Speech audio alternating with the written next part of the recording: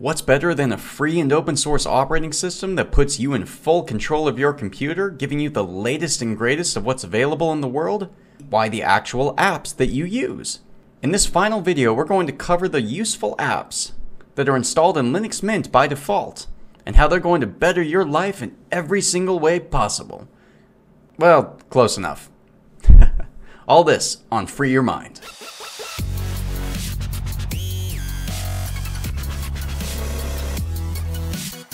Free your mind. Okay, so we're picking up from uh, part 6 in this video. You're basically good to go at this point. You've gotten through all of the essentials of Linux Mint. This video is now a little bonus video that's just going to show you the useful programs that they offer by default that you can use to really enhance your computing experience, to really get the most out of your workstation, your laptop, your desktop. Let's look into a couple of common programs here at first. By default, you're going to see the three programs here. We used files before in the previous videos, and that's just your file browser, and that's obviously a superb way to manage your files and folders. The terminal up here, this is something you're going to want to get into. I'm going to produce later videos on on how to use the terminal if this is something you become interested in. There are times when this is necessary if you do need to do something a little more technical in the Linux world. If for some reason something does go wrong or there is a glitch, instead of reinstalling your whole system, you can troubleshoot it or you can run some commands here. And this is kind of like your MS-DOS prompt or when you see a command prompt window uh, in the Windows operating system. This is essentially the equivalent of that. And so that allows you to run text-based commands things like that. If you haven't used it yet, this is the Firefox web browser. This is made by Mozilla. This comes installed by default on many different Linux distributions, and that's because this web browser is purely free and open source. You can take the code from this and use it to make different versions of a web browser or improve this uh, in any way and send it over to the Mozilla developers. So this is the most popular free browser that the open source world has to offer. Many users will choose other ones, but this is just what's installed by default. This is what you're going to want to use to browse the web at first. There are plenty of other web browsing options which you can download from the software manager. So if you open up the uh, the application menu and you type SOFT uh, and you click on the software manager right here, and if you go over to uh, internet and you go to web, and this is you're going to see a bunch of different ones here. The Chromium web browser, which is what Google Chrome is based off of. Yeah, and plenty of others. So I'll let you sift through that at your convenience and your leisure for for your fun. Epiphany is also the GNOME web browser. But this is, again, this is installed by default, so this is primarily what you'll use for your web browsing stuff, for all of your, your Facebooking and your, uh, your YouTube watching, etc. And then over here, if you want to do some basic text editing, there is a text editor in the accessories over here. And this is going to be like your notepad. This is your very basic note keeping application. I actually do a lot of basic screenwriting or voiceovers with this where I'll I'll type a voiceover and uh, it's your cool line here. And I'll just keep it stored for uh, easy reference or if I need to take notes of something. It becomes very easy to make a note and save it. So if you want to do basic notes, you know, just simple things, use text editor. It's awesome. Linux Mint comes with all the basic goodies you'd expect out of a computer. Things like a calculator. You can do your calculations. I do plenty of uh, use this plenty of times when I'm going over my finances at the end of the month. I'm going over my monthly bills. Super handy.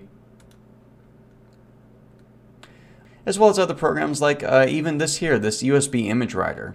So if you ever want to make another, like take a flash drive or a USB drive and put uh, Linux Mint on it so where you can show it to other people or you can even run and boot Linux Mint from your flash drive, you can use a program like this where you can choose the image file that you've downloaded from the website and then once it's available, select a USB stick, and you can write it straight to there, and that changes your flash drive that you normally use to store your personal documents and videos, and it turns it into a, a bootable Linux Mint drive that has a copy of Linux straight from it. So you, when you power on a computer, you could boot from that and uh, almost you know, literally use your desktop right here um, straight from a USB.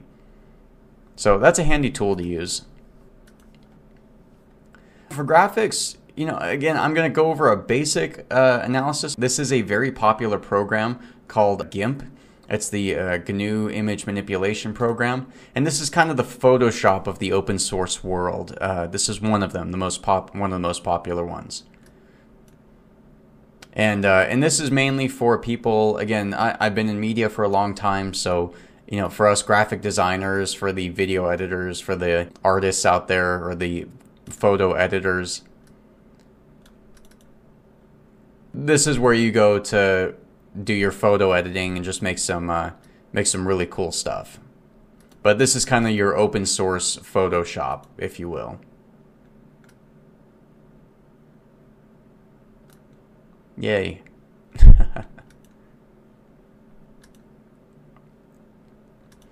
Let's see, some other things that might not initially be look useful. Uh, Simple Scan is a great program for scanning documents. Uh, once you get your scanner set up, I would recommend you use HP for Linux Mint uh, or any Linux-based distro because they have really good compatibility with Linux-based operating systems. So any HP printer scanners or scanner or you know all-in-ones, these are great for because you can use these in order to quickly scan documents, very quickly adjust them. This has been very user friendly. I use this for all of my documents that I scan when I'm running my business or when I'm like doing my taxes or any of that stuff. I can save it straight to PDF or JPEG. Very useful for just scanning and digital organization if you want to uh, alleviate the burden of needing a physical file cabinet in your house. Let's yeah, let's move on to internet. So, a couple of things that might not be readily understood are things like HexChat. Um, HexChat, for those of us who grew up in the uh, late 90s, the millennial, the you know beginnings of the millennial generation. So this is actually a this is what's called an IRC, an Internet Relay Chat client, and this is kind of bringing you back to the old days of chat rooms where uh, this connects to a server, and this purpose is to connect with other people uh, in the Linux Mint community or any other any other chat community where you just want to chat with people. And so, if you're ever looking for help, if you want to, you know, just talk to people and try and get some quick advice when you don't, without needing to go to a forum or go to uh, social media and try and wait for a response, uh, there's a lot of people there that are still to this day hanging out in chat rooms. There's you know, in this one here, there's 210 uh, total users on here. Yeah, they're, I mean, they're just here hanging out, just kind of like we are right now. So HexChat is a good program for that. It's all anonymous. You don't have to create an account. You can just, you know, immediately begin chatting or talking. So yeah, it's a great secure way to uh, to chat with people.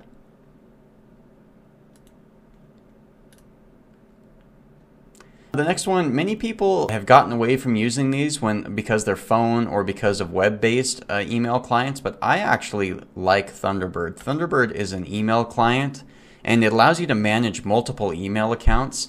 So similar to Outlook, if you use it like Microsoft Outlook for your business or you use like a Windows Mail or something. This is kind of, again, an open source equivalent of that. This is actually made by Mozilla, the same company that makes Firefox. And this will allow you, once you get your email accounts set up, to uh, have multiple emails over here. You can answer emails, you can write them, you can create signatures. You can also access any RSS feeds if you're into that, manage your calendar. So, this is kind of a good little business application for your daily life or for your business life. I use this for business a lot. Um, again, my workstations are all running Linux Mint, so I have to use um, email clients for business and calendars that synchronize with other people.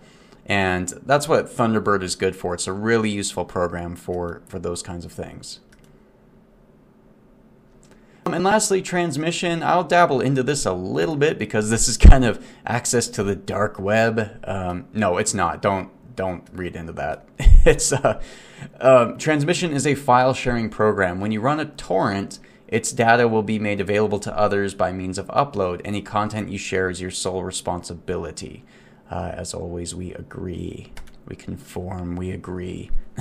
no, this program is mainly for downloading what are called torrents, and torrents is a method of peer to peer sharing. What that means is there are many computers around the world that have files, like, say, even uh, they've downloaded Linux Mint, right? And Linux Mint is an well, let's let's give this a quick example here. So, uh, let's say if you wanted to download Linux Mint,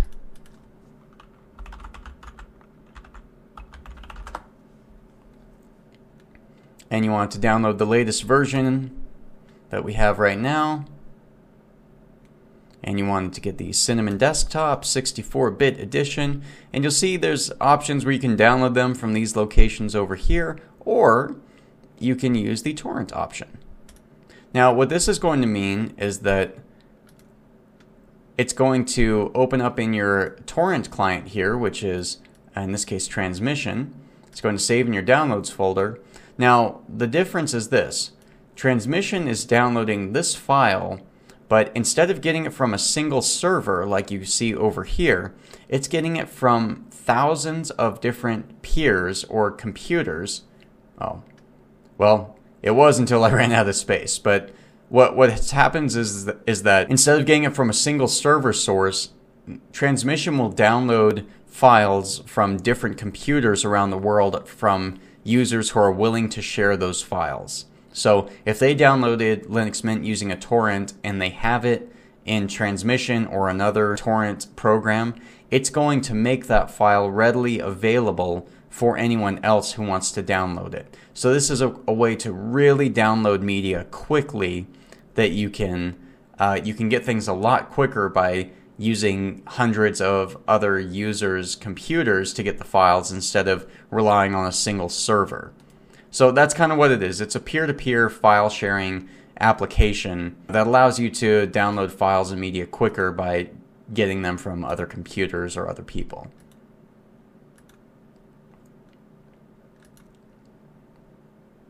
Office, you're going to see uh, the the normal array of Office applications. Um, Office Writer is going to be like your Microsoft Word, and that's what you're going to be using for your more advanced word processing, you know, tasks.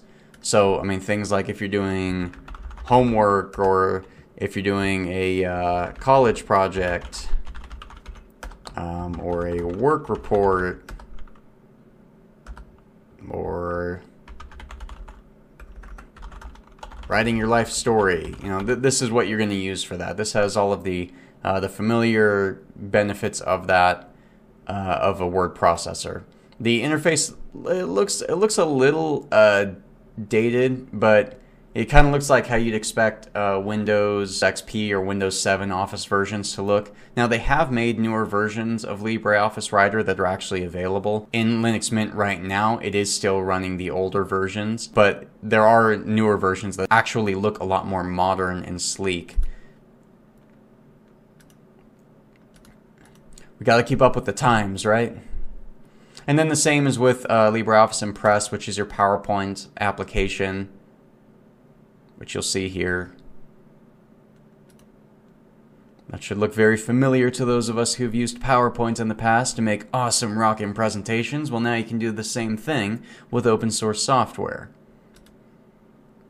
And for those of you who use Excel, you also have LibreOffice Calc, which is the their open source version of Excel, so you can do all of your Excel stuff, which I'm not even going to try to go into because I don't know Excel for the life of me. I don't even know half of what you would use this darn thing for. So I'm not going to try and I'm not going to pretend. There are limits to even my knowledge. Sound and video. If you didn't install multimedia codecs to play the common video files, like MP3s, MP4s, anything that you might have saved, like an old home movie or something, You'll want to left click that and you'll want to install uh, those media codecs. By clicking, you want to install package mint media codecs and clicking install and then typing your administrative password. And that's just going to be useful for a lot of different things. So one of the great things about Mint is that it does allow you to play the commonly used media files, which some Linux versions don't let you because the the codec or the method that that the file the video file was made in was privatized or it's not open source or it's proprietary so you can't you need a certain license to access it. So that's the benefit of that. That will allow you to play common household uh, mp3s and mp4s and uh, you know all those other things that you're used to. Speaking of though when you when you do have those ready and you want to play them media player is a common video and audio player you mainly want to use this for video and this is for opening any video files I don't have any on here because this is a demo machine, but this is where you would go in order to, this is your video player. Just think of it like that. Again, very simple interface, clean, easy for these to understand, very useful. You know, I mean, especially for me, I'm a huge movie buff, so, you know, just having something out of the box that can immediately looks nice, can play all my media, super handy. Speaking of media, when I'm working, Rhythmbox is a great audio player. It can download, import, and store your entire music collection. And you can use this to play all of your uh, MP3s, your you know all of your audio files. I heard that some people don't even keep localized audio files anymore, like a music collection. Many of them just say they they have it in the cloud, or they have a subscription, or they're just using online radio exclusively, which really blows my mind that people aren't even storing them anymore. Uh, I can't I can't imagine a world where I didn't have access to my music except by a cloud or by a subscription. I'm like, man, I've I've got decades of rockin' tunes that you know I enjoy listening to on a regular basis, and without that, that's a that's a real bummer, man. And Rhythmbox is also good for uh, things like downloading podcasts if you want to, uh, if you're into the whole streaming world, if you want to, you know, look up news or see what's out there in the world. Really reach out there and touch someone. You got to connect out there. You know, you can uh, find podcasts to listen to, and then you'll see the episodes, and you can download uh, podcast episodes. So, very useful audio program.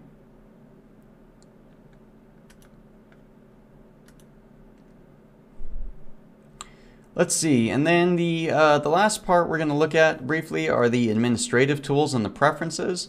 Those were the common programs that are going to help make your computer awesome and make it easy to use. But there are some system things that you're going to want to see that are probably going to be of a significant benefit. One of them is the driver manager. So you can, if there are any drivers that you need to install, if there's anything on your computer that's proprietary or any hardware that you, you need, um, you can use the driver manager for that. We've tackled this in a couple of previous videos, but just want I want to reiterate it again because of how necessary this is. The one thing that you want that Linux Mint provides better than most Linux operating systems is out of the box functionality and usability.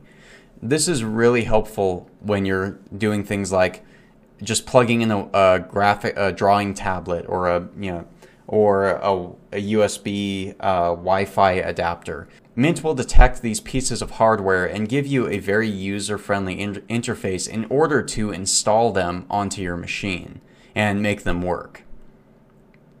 So you're going to see the hardware that it's listing, um, and if there is an option to use a, a, closed source driver or use a proprietary driver that you might need in order to get that to work properly, It'll show up in this list here and give you the option to select it with a radial menu, this uh, green circle here. You can left click uh, the driver you want to install and then click apply changes. And then you'll need to restart your machine and that's going to uh, get everything working right, you know, out of the box. If something like your graphics card isn't working right, or your Wi-Fi isn't working, or maybe for some reason you're not getting sound, and that's because your sound card needs to have a driver installed. You're going to, you're going to want to remember Driver Manager for that purpose. Another handy administrative tool is the Disk Usage Analyzer. And this is something that just lets you see the where all of your free space, uh, your storage space is, is on your computer, how it's being used. So when all of a sudden you get a notification like, man, you're running out of space, and you're thinking, dang, man, where's where's all that going to? Where where are my files? Like, what's taking up so much space? You can click open this uh, program, and you can click your home folder right here. And clicking your home folder is going to show a little graph and this is going to be all of your folders and files stored and, and displayed in graph format. And that's going to show you exactly which folder is containing what amount of space. So in this case, Uh, like I recently opened Thunderbird in this video, and when I opened it, it created some configuration files. And so it created a folder, and that folder has 14 megabytes of data stored inside of it. So I can also see on the left side here how much space is being used, and among that, all of my folders contained within my home directory.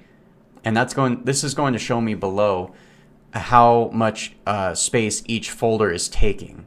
So in this case, the downloads folder has 967 megabytes of data. It's not going to show every single file, it's just going to show the folder and how much space that's taking. So a handy tool if you need to really assess where all of your free space is and which folders are taking up the most space on your computer. Let's see, the next one is your printers. Uh, your printers, of course, we love our printers because they are what help us to you know, destroy those trees, right? No, I'm not, I don't have an environmental stance. Don't quote me on any of this. So, no, this, this is simply to set up your uh, your printers on your machine. Again, this is another easy to use program that allows you to add a printer simply by looking for it. And usually it comes up in the list here if you have one. Again, this is a demonstration machine, so I don't have one set up.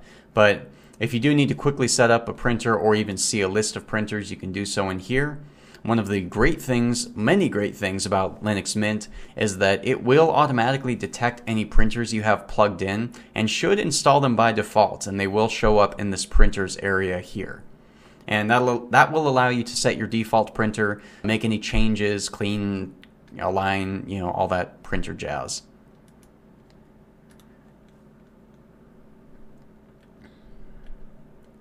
The last thing I'm going to show in the administration is the system monitor.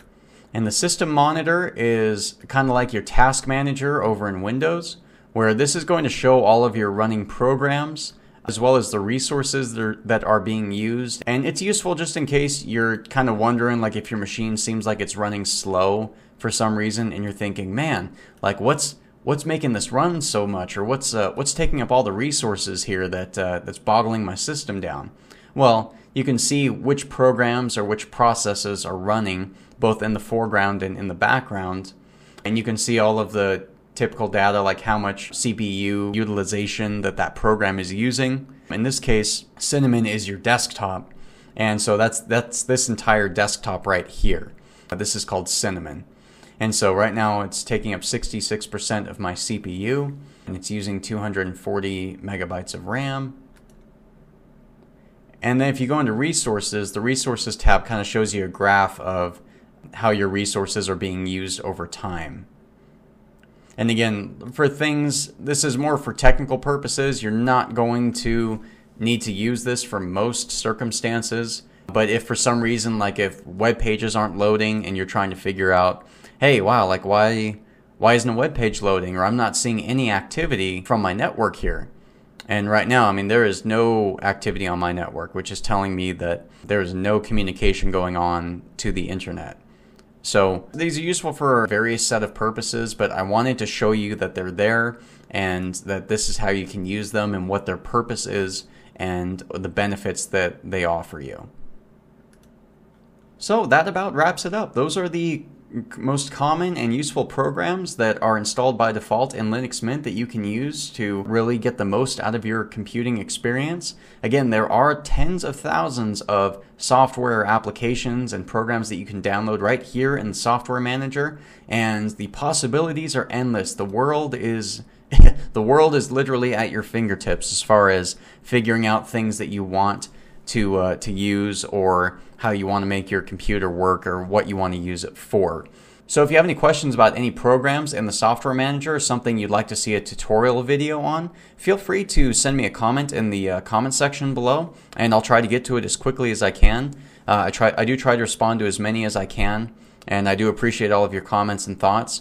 But that is about it. So I want to congratulate you. You just completed the seven part series on how to use Linux Mint. Yay!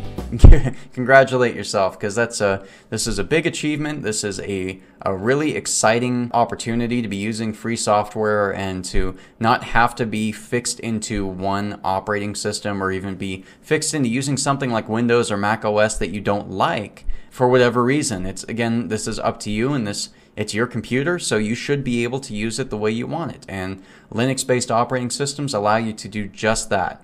So thank you so much for watching. Please like this video if you found it helpful or meaningful in any way. And uh, do subscribe so that you can see more future videos for reviews on new versions of Linux that come out, as well as helpful tutorials that I plan on making in the future. There's a lot more uh, on the docket and plan coming up. And I intend to be using this channel as a huge resource for you to be making the most of the free software world and to make your computer work for you that much better. So until then, Take care, stay free, and we'll see you next time.